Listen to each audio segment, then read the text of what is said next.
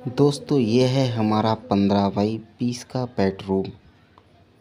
और इसको बनाने में कितनी लागत आई है और इस रूम को तैयार करने में कितना खर्च आने वाला है, बात करेंगे हम इस वीडियो में। अगर आप भी बनवाना चाहते हैं ऐसा बेडरूम तो बने रहें इस वीडियो के साथ। दोस्तों, बात कर लेते हैं पहले पीवीसी कराने से हमारे फ़ायदे दोस्तों, पहले तो हमारा पेंट और पुट्टी का खर्च बचता है और खर्च बचने के साथ साथ हमारा जो सीलन, जो पुट्टी वगैरह में आ जाता है, उससे भी छुटकारा मिल जाता है।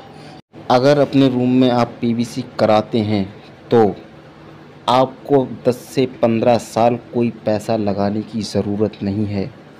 दोस्तों, ये काम इतना फैसिलिटी और इतनी खूबसूरती देता है कि इस काम को देखने के बाद आप खुद तारीफ़ करोगे।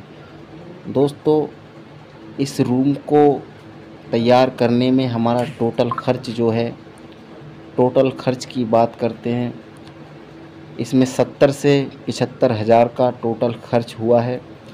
और दोस्तों, बात करते हैं पीवीसी पैनर की।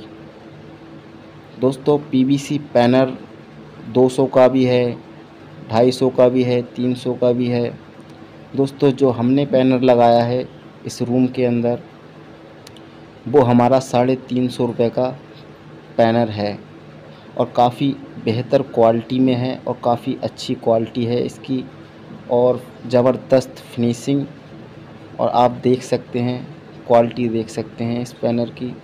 और ये जो हमारा है, ये बाथरूम है, इसमें भी हमने सीलिंग कर रखी है और ये पैनरों का काम किया है।